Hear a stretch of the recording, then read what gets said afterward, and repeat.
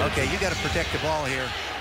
George has long arms, and he's looking to make a steal with Curry on the sideline, inbounding. They have two points in the last five minutes. Bounce pass. Can they find a basket? You can go in the backcourt and help them.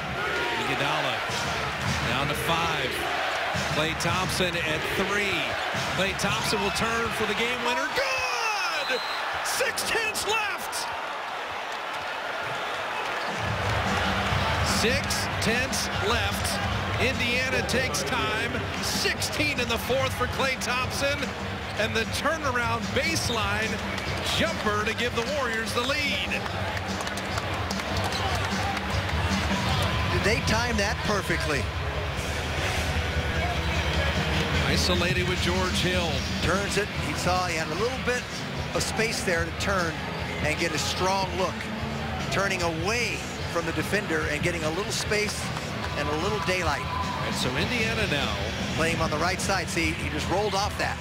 And played the clock very well. Six tenths left. Indiana will advance the ball to the front court with the timeout. So be careful about pushing, holding, shoving. Yeah, don't foul. The four inbounds. They run the curl. There it is. They wanted George. George for the three and the win off iron. And the Warriors win it.